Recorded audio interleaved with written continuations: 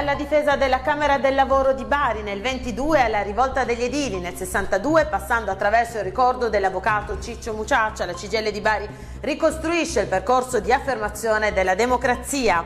In un'intervista esclusiva alla CGL di Bari, Baldina Di Vittorio ricorda la nascita di suo fratello Vindice nella Camera del Lavoro di Bari, mentre i fascisti tentavano di occuparla. Era il 1922 e lei aveva solo due anni.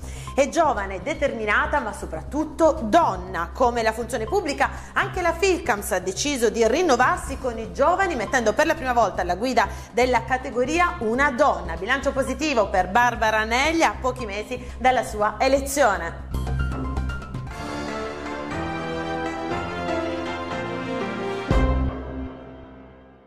Buongiorno, benvenuti alla seconda puntata del nostro settimanale di approfondimento. Memoria della resistenza, identità della democrazia è il titolo della tre giorni di iniziative che la CGL di Bari ha organizzato per celebrare il novantesimo anniversario della resistenza antifascista. Dalla difesa della Camera del Lavoro di Bari nel 22 alla rivolta degli edili nel 62, passando attraverso il ricordo dell'avvocato Ciccio Muciaccia. Il servizio.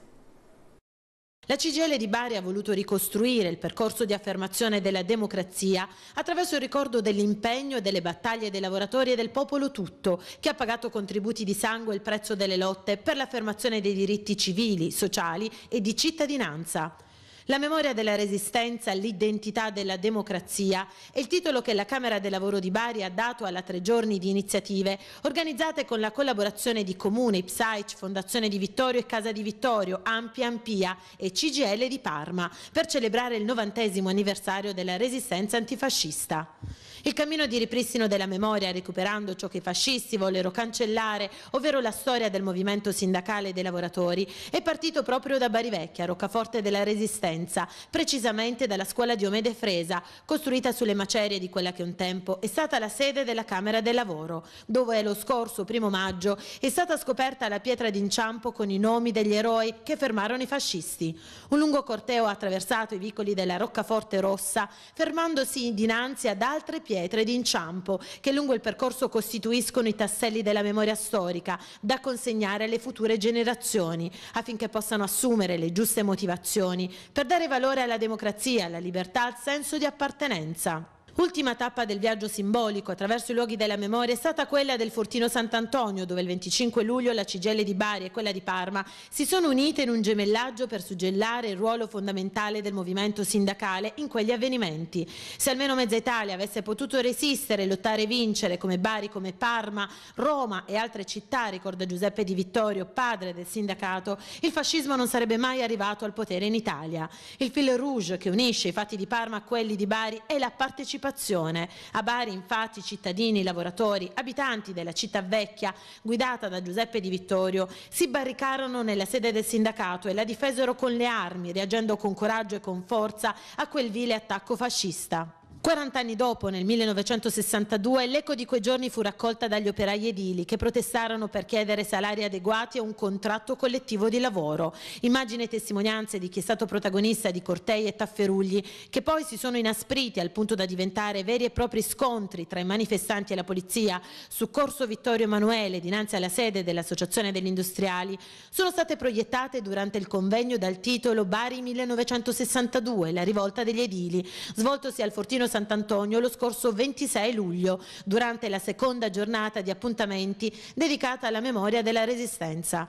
Una sezione della mostra fotografica e documentaria dell'archivio storico della CGL di Bari è dedicata proprio alla rivolta degli edili, con preziose testimonianze di protagonisti e testimoni di quegli avvenimenti, fra cui Ciccio Muciaccia, alla guida del collegio di difesa dei manifestanti arrestati durante lo sciopero. Ricordato durante il terzo giorno di iniziativa in un convegno al comune di Bari, militari, Ciccio Muciaccia ha richiamato l'attenzione nazionale difendendo il principio di resistenza passiva. Nominato responsabile del Comitato di Solidarietà Democratica, ha avuto il merito di riorganizzare le attività che già il sindacato e i partiti di sinistra facevano, dando una nuova linfa e una prospettiva che hanno colmato i vuoti territoriali, costruendo relazioni e politiche di alleanze di più ampio respiro. Una vita per certi aspetti unica. Comincia così il racconto della vita di suo padre aprendoci le porte della sua casa estiva, Massa Marittima Baldina di Vittorio. In un'intervista esclusiva alla figlia di Giuseppe Di Vittorio, l'uomo del sud che creò il sindacato e che cambiò la storia del mezzogiorno e dell'Italia, ha ricordato la nascita di suo fratello Vindice nella Camera del Lavoro di Bari mentre era assediata dalle squadracce fasciste nel 1922 e lei aveva aveva solo due anni.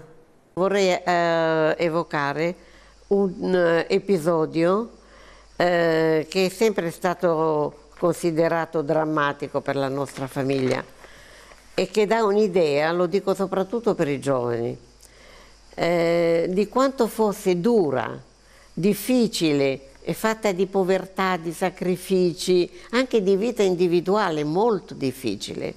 Noi eravamo allora la nostra piccola famiglia, eh, in questi drammatici momenti dell'assedio fascista alla Camera eh, del Lavoro di, eh, di, di Bari Vecchia, eh, la nostra famiglia si trovava lì da alcuni giorni ed è rimasta per un certo periodo lì.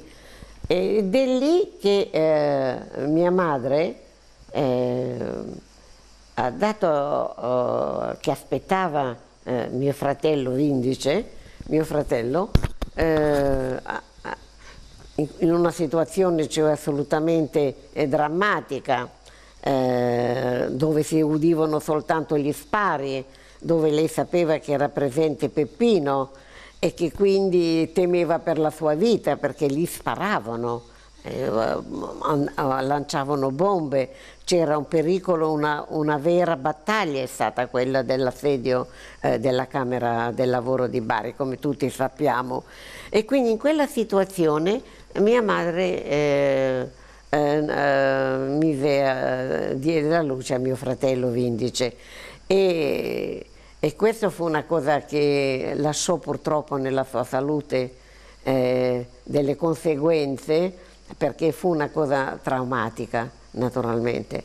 E così eh, eh, Peppino venne eh, un momento nella stanza dove noi eravamo e dove abitavamo in quel periodo, perché eh, i mezzi erano questi, come dire, le condizioni eh, di vita eh, erano questi non solo di lavoro, di eh, pericolo fascista eccetera, ma eh, materialmente era una vita molto dura, quello che facevano tutti del resto, i lavoratori, i compagni eccetera.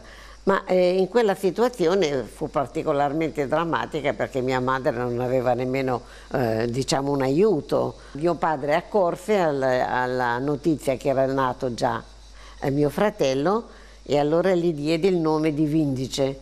Vindice perché lui dice, lo chiameremo Vindice perché significa vendetta vittoriosa sul fascismo.